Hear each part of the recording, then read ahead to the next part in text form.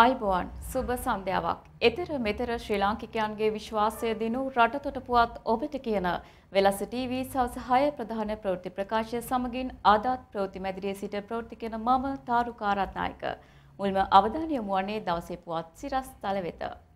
වෙල්ලස්සෙන් තවත් රන් කණඩුවක් කෑගල්ල ප්‍රදේශයට අන්සෝධනය වන තැපල් ගාන්තු ප්‍රකාශයට පත් කරේ. විදුලි බල මණ්ඩලයෙන් උපයෝගිතා කොමිසමට චෝදනා. අද මධිමරාත්‍රයේ සිට QR කෝටාව ගැන තීරණයක් රාජ්‍ය සේවකයන් සාමාන්‍ය පරිදි සේවයට කැඳවීමට රජයේ අවධානය.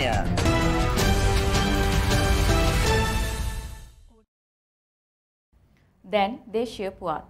වෙලසේ රන්කරඩු පූජාභිවන්දනා වැඩසටහන යටතේ තවත් රන්කරඩුන් වහන්සේ නමක් පසුගිය දිනක කෑගල්ල ප්‍රදේශය බලා වැඩම කළා. ඒ කුවේට් රටේ රැකියා කටයුතු සිදු කරන වෙලස ටීවී නාලිකාවේ සමාජිකාවක් වන දිනේශා මදුවන්ති මහත්මියගේ බැතිබර දායකත්වයෙන්. නිහතමානී මිනිසත් කමින් පිරිපුන් වෙල්ලස්සේ මනුස්සකම රටට බෙදමින් විශ්වයම සිසාරා ගලා හැලෙන දහම් චාරිකාවයි වෙල්ලස්සේ රන් කරඩු පූජාභිවන්දනා පින්වඳින් වෙලස්සේ රන් කරඩුණු ලෝපියදු තුරුවේවා කමට රටට සෙත් වේවා. ලකබර සිරි වැජබේවා විශ්වයටම සෙත් වේවා.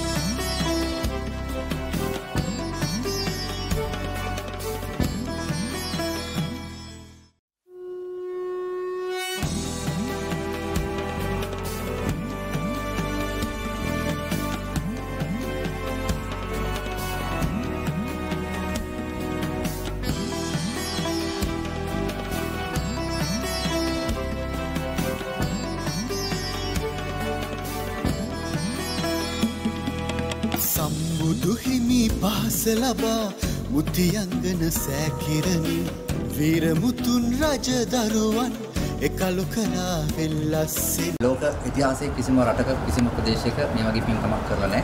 ඉතින් අපි ගෙවල් දහසක් හදනවා මේ රටේ අහිංසක මිනිසුන්ට. ඉතින් එවැනි පුණ්‍ය කටයුත්තක් තමයි අපි කරනු ලබන්නේ.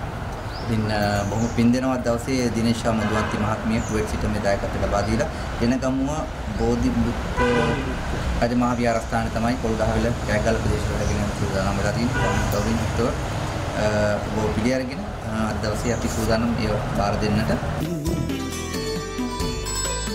දන්ත ධාතු කේශ ධාතු නිදන් කරන දා කරනුන් වෙලස්සේ මනුස්සකම් දෝත දරන්න අපි එන්නේ. සාදු සාදු අපිත් වඳින් වෙලස්සේරන් කරනු සාදු සාදු අපිත් වඳින් වෙලස්සේ රන් කරනුන්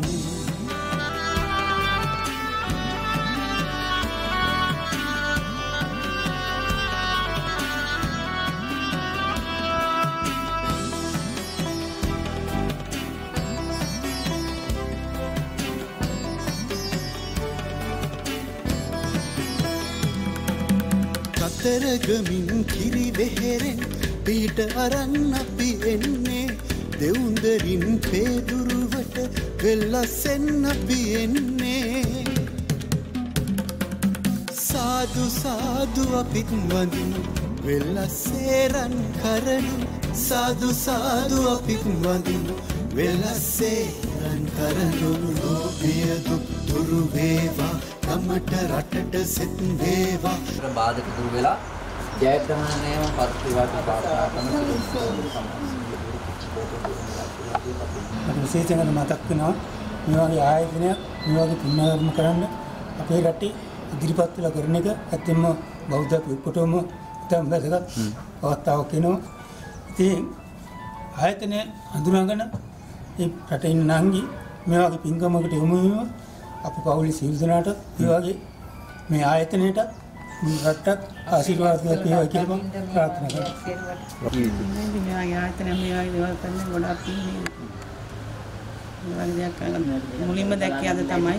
නිහතමානී මිනිසත් කමින් පිරිපුන් වෙල්ලස්සේ මනුස්සකම රටට බෙදමින් විශ්වයම සිසාරා ගලා හැලෙන දහම් චාරිකාවයි වෙල්ලස්සේ රන් කරඩු පූජා බිවන්දනා අපිත් වඳිමු වෙලස්සේ රන් කරඳුණු ලෝභය දුක් දුරු වේවා. කමට රටට සෙත් වේවා. ලකබර සිරි වැජ වේවා. විශ්වයටම සෙත්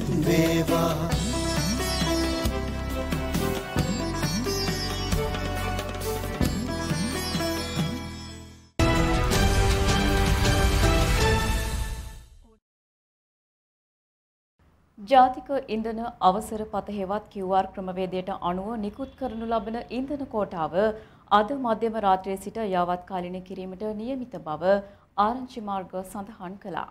පසුගිය සතියේ දත්ත විශ්ලේෂණය කිරීමෙන් අනතුරුව ඉදිරි සතිය සඳහා ලබා දෙන ඉන්ධන කෝටාවේ සිදු කරන වෙනස්කම් පිළිබඳව අද දිනේ ප්‍රකාශයට පත් කරන බව විදුලි බල සහ බලශක්ති අමාත්‍යංශය සඳහන් කළා. මෙම මස පළමු දින සිට QR ක්‍රමවේදයට අනුව ඉන්ධන කෝටාව යටතේ වාහන සඳහා ඉන්ධන නිකුත් කිරීම සිදු කළා. ඉන්ධන කෝටාව ක්‍රියාත්මක කිරීමත් සමග මේ වන විට ඉන්ධන පිරවුම්හල්වල පැවති පෝලිම්ද අවසන් වී තිබෙනවා. මේ අතර QR ක්‍රමවේදයෙන් බැහැරව ඉන්ධන නිකුත් කරන පිරවුම්හල් සම්බන්ධයෙන් අවශ්‍ය නීතිමය සහ පරිපාලනමය තීරණ ගන්නා බවට විදුලි බල සහ බලශක්ති අමාත්‍ය කාංචන විජයසේකර මහතා උපදෙස් ලබා දී ඇති බව වාර්තා වනවා. සියලුම ඉන්ධන හල් වෙත බෙදා හරින ලද ඉන්ධන ප්‍රමාණය සහ QR ක්‍රමවේදය භාවිත කරමින් ඉන්ධන නිකුත් කිරීම පිළිබඳ දත්ත පරීක්ෂා කර අදාළ ක්‍රමවේදයෙන් බැහැරව ඉන්ධන නිකුත් කර ඇති පිරවුම්හල් සම්බන්ධයෙන් අවශ්‍ය නීතිමය පියවර ගන්නා ලෙස අමාත්‍යවරයා කනිජ තෙල් නීතිගත සංස්ථාවට උපදෙස් ලබා දී තිබෙනවා.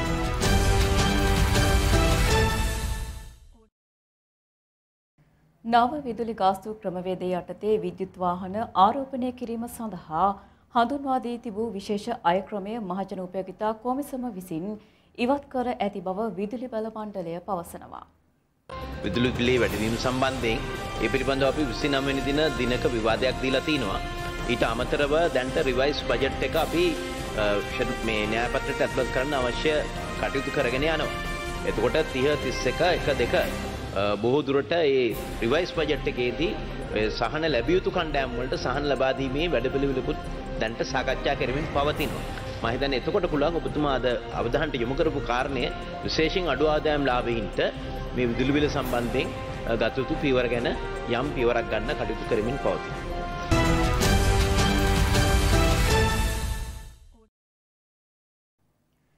තැපැල් දෙපාර්තමේන්තුව විසින් සංශෝධනය වන තැපැල් ගාස්තු ප්‍රකාශයට පත් කර තිබෙනවා.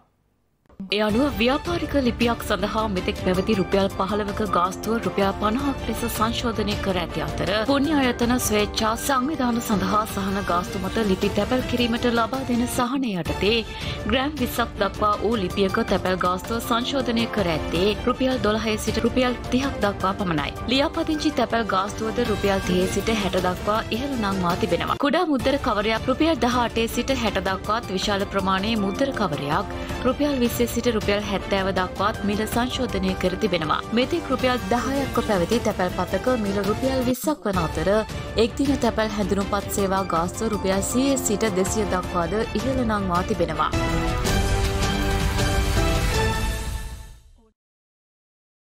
මේ සූදානම කෙටි විරාමයක් ලබා ගැනීමට විරාමෙන් පසු තවත් ප්‍රවෘත්ති බලාපොරොත්තු වන්න.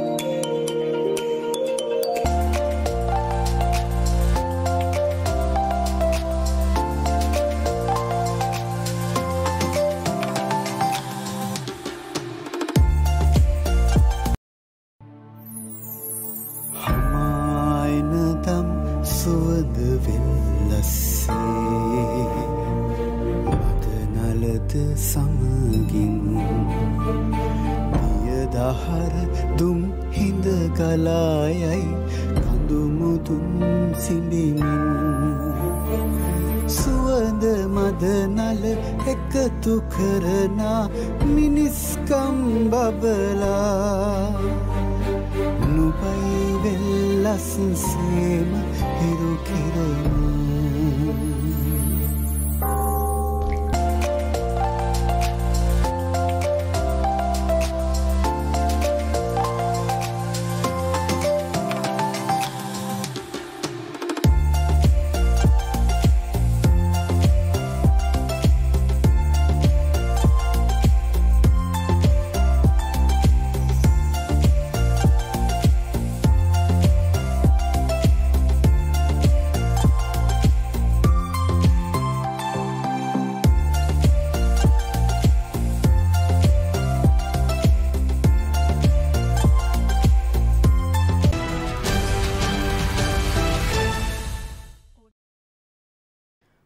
යළිත් එක්වී සිටින්නේ වෙලස්ස ටීවී සවස ප්‍රධාන ප්‍රවෘත්ති ප්‍රකාශය සමගින්.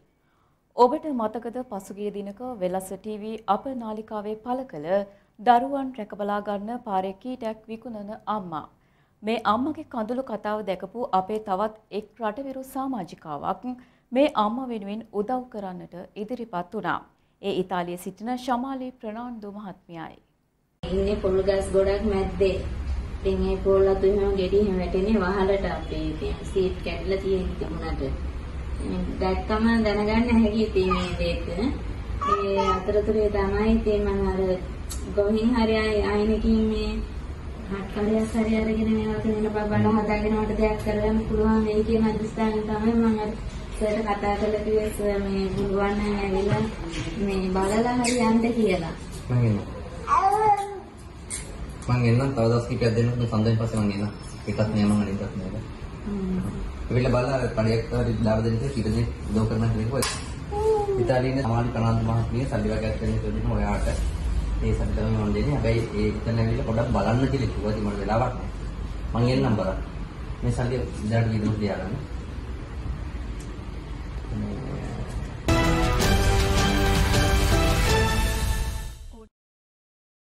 තියාගන්න. සාමාන්‍ය පරිදි සේවයට කැඳවීම සම්බන්ධයෙන් රාජ්‍ය පරිපාලන අමාත්‍යංශයේ අවධානය යොමු වී තිබෙනවා. එසේම රජය සහ රජයේ අනුමත සියලු පාසල් හෙට සිට සතියේ දින පහ තුළම පැවැත්වීමට අධ්‍යාපන අමාත්‍යංශය තීරණය කර තිබෙනවා. රට තුළ පැවති වාතාවරණයත් සමග රාජ්‍ය නිලධාරීන් කාර්යාලවල සේවයට කැඳවීම සීමා කරමින් චක්‍රලේඛයක් නිකුත් කළා. එය අවස්ථා කිහිපයකදී දීර්ඝ කළ අතර මේ මස විසි හතර වනදායින් එම චක්‍රලේකයේ වලංගු කාල සීමාව අවසන් වනවා. ඉන් අනතුරුව යළි එම චක්‍රලේකය දීර්ඝ කිරීමකින් තොරව සාමාන්‍ය පරිදි රජයේ සේවකයන් කැඳවීමටයි අවධානය යොමු ඇත්තේ. ඒ අනුව චක්‍රලේකයේ වලංගු කාලය අවසන් වීමට ප්‍රථම රාජ්‍ය නිලධාරීන් සේවයට කැඳවන්නේ කවර ආකාරයකටද යන්න සම්බන්ධයෙන් තීරණයක් ගන්නා බවයි අමාත්‍යංශ ලේකම් MMPK මායාදුන්නේ මහතා කියා සිටියේ. මේ අතර රජයේ සහ රජයේ අනුමත සියලු පාසල් හෙට සිට සතියේ දින පහ තුළම පැවැත්වීමට අධ්‍යාපන අමාත්‍යංශය තීරණය කර තිබෙනවා. ඒ අනුව පෙරවරු හතයි තිහේ සිට පසුරු එකයි තිහ දක්වා සාමාන්‍ය පරිදි පාසල් පවත්වනු ඇති බවද ඔවුන් සඳහන් කළා. කෙසේ වෙතත් ප්‍රවාහන අපහසුතා සහිත ප්‍රදේශවල විදුහල් ප්‍රතිවරුන් ගුරුවරුන් සහ සිසුන් සඳහා සුදුසු ප්‍රවාහන වැඩපිළිවෙලක් සකස් කිරීම සඳහා පළාත් අධ්‍යාපන බලධාරීන්ට උපදෙස් දී ඇති බවයි අධ්‍යාපන අමාත්‍යංශය සඳහන් කළේ. එමෙන්ම ඉදිරි මාස තුනක කාලය තුළ විෂය ඉගැන්වීම් සඳහාම යොදාගත යුතු අතර විෂය සමගාමී සහ බාහිර ක්‍රියාකාරකම් පාසල් කාලයෙන් පරිබාහිරව සිදු කිරීමටත් පාසල් දිනවල උත්සව ආදිය තවදුරටත් සීමා කිරීමටත් අධ්‍යාපන අමාත්‍යංශය වැඩිදුරටත් උපදෙස් දී තිබෙනවා.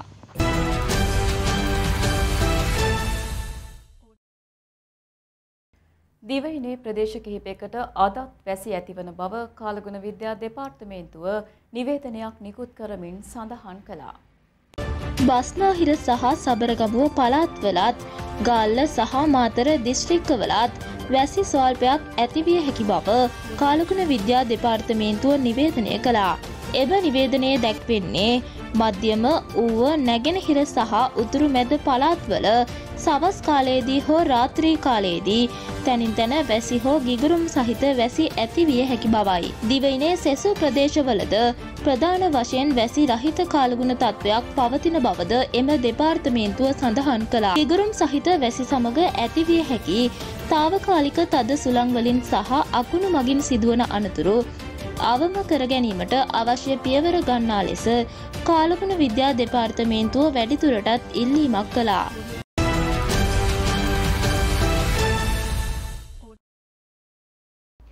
ඒ සමගින් අදට නියමිත වෙලස ටීවී සවස ප්‍රධාන ප්‍රවෘත්ති ප්‍රකාශය මින් නිමාවට පත්වෙනවා.